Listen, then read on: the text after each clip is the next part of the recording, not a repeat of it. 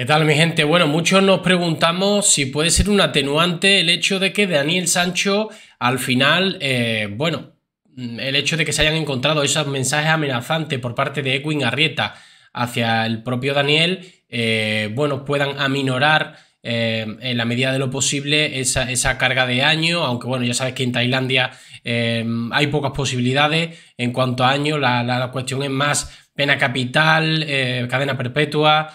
No sé exactamente si, los años ahí em, están un poco a la orden del día o no, pero, pero, bueno, sí que es verdad que a la fiscalía me imagino que se podría agarrar un poco a eso eh, e incluso eh, si él hubiera dicho que había un forcejeo, que fue una pelea, pero claro, él no la ha vendido así. Otra cosa es que quiera cambiar la versión, pero bueno, ya sería poco creíble, ¿no? Bueno, mm, los medios digitales están que arden con este tema, ¿no? Edwin Arrieta habría amenazado de muerte a Daniel Sancho según los mensajes encontrados por la policía tailandesa.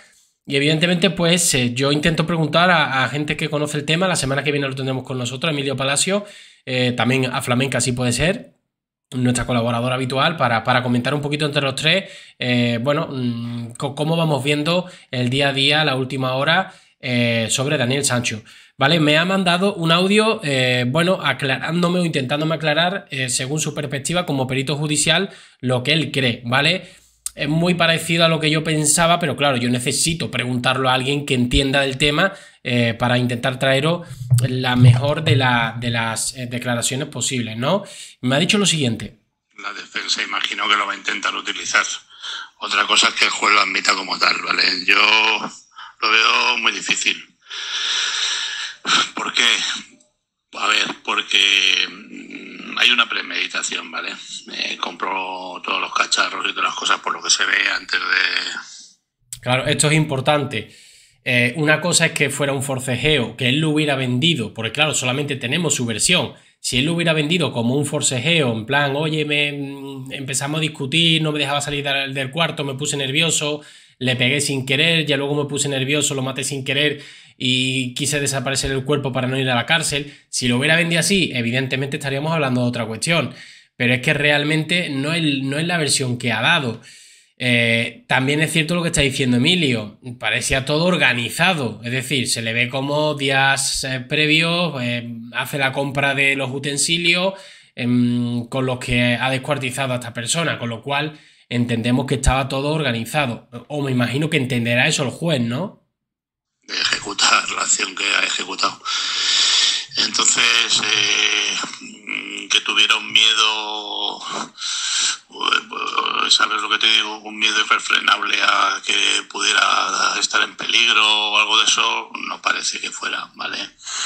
Y luego la proporcional Claro, miedo no parecía que, tuviera porque primero tenía todo organizado y segundo él sabe que, que, tenía más fuerza que la otra persona, se ve que el tío está robusto, está súper fuerte, súper entrenado, el otro señor, 44 años, mucho más mayor que él, eh, metidito en carne, podríamos llamarlo así, ¿vale? Con todo mi respeto, pero evidentemente mm, que creemos, creemos que como al final sucedió, que evidentemente eh, ahí, hablando de fuerza, eh, el, que tenía las de ganar era Daniel Sancho, con lo cual lo tenía todo muy bien estudiado, premeditado, al menos de, desde mi opinión, desde mi punto de vista, parecía que lo tenía todo muy bien eh, cuadrado, ¿no? Y no solo lo digo yo, lo han dicho los medios, los medios em, tradicionales como la televisión, la radio, que, bueno, como lo tenía todo minuciosamente preparado para cometer lo que, lo que él ha confesado por ahora, ¿no? En realidad, yo sé, el que estuviera que te fuera a enseñar unas fotos o algo así a matarlo, ¿vale? Claro, es que es desproporcionado, es desproporcionado el hecho de por el tema de las fotos matarlo. Claro, es verdad que después de esto han salido amenazas de muerte. Mm, pero claro, yo me pregunto, vale, a mí me puede amenazar a alguien de muerte, ¿cuánto te mato? Pero bueno, hay otras opciones. Eh, mm, eh, estás en Tailandia, es decir, si a mí me amenazan de muerte en mi pueblo, lo puedo llegar a entender. Mira, tengo aquí la hipoteca, tengo aquí mi casa, yo de aquí no me puedo ir por una simple amenaza y lo, tengo jodido. Eh, mm, ¿Qué hago? ¿Voy a la policía o me lo quito del medio? No, hablando mal y pronto, pero realmente Daniel Sancho tenía otra, otras opciones. podía haberlo denunciado y mm, inmediatamente se podía haber ido del país.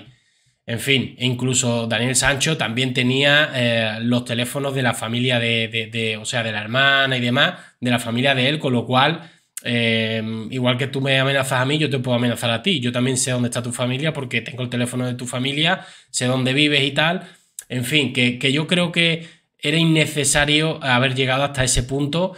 Eh, pese a las amenazas, desde mi punto de vista, claro, nos puede faltar información, por supuesto que nos puede faltar información, Tampoco sabemos exactamente qué le dijo. Eh, se han dicho que, hemos, que han encontrado amenazas de muerte en el teléfono móvil de Daniel Sancho por parte de Edwin Arrieta, pero no exactamente qué le ha dicho ni hasta qué punto eh, él se ha podido llegar a creer que podía cometer em, esos asesinatos de Edwin hacia la familia, ¿no? Por esas amenazas.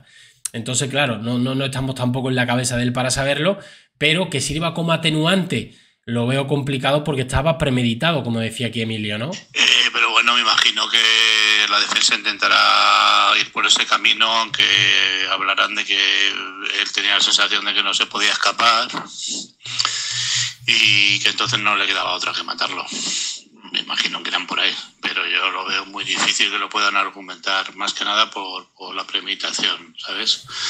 Que planeó ese asesinato, parece que no es de ahora, que ya lo llevaba planeando, el viaje a Tailandia y todas estas cosas. Yo lo veo muy difícil. De todas maneras, me imagino que eh, la defensa lo va a intentar y la otra parte se va a oponer, lógicamente. Yo no le veo, no le veo no le veo salida. Yo no soy especialista en esto, pero vamos, yo no le veo que pueda ser una, una atenuante. ¿eh? Creo que no. Bueno, ya aquí yo le pregunto cosas, él me pregunta cosas, vamos a quedar la semana que viene y tal.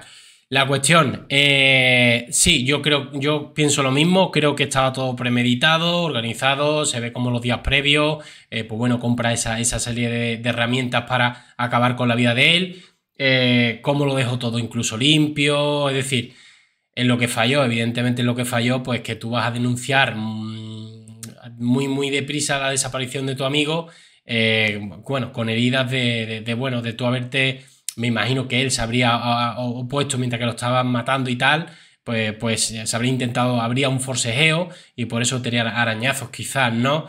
O de los nervios mientras que, que lo desmembraba, yo qué sé, cualquiera sabe. La cuestión que sirva como atenuante, claro, la fiscalía por parte de Daniel Sancho intentará que eso sea un atenuante, pero la otra parte se va a oponer, eh, tanto en cuanto, bueno, em, una cosa es, em, es que yo también hace y otra cosa es que tú me mates, ¿no? Em, una cosa tampoco lleva con la otra. Es verdad que una amenaza, o sea, no por el hecho de amenazar de muerte, tú ya tienes que matar a la otra persona. No, no te da eso eh, la razón, ¿no? Y bueno, nada, mi gente, hasta aquí un poquito la visión de, Emilio Palacio, que es un perito judicial que, insisto, no está especializado en esto, pero sí que es verdad que nos puede dar un poquito una visión más cercana de la realidad. Seguramente el abogado de Daniel Sancho vaya a utilizarlo, pero eso no significa que le vaya a servir de mucho, según en su opinión. Mi gente, nos vemos en el siguiente vídeo. Un saludo.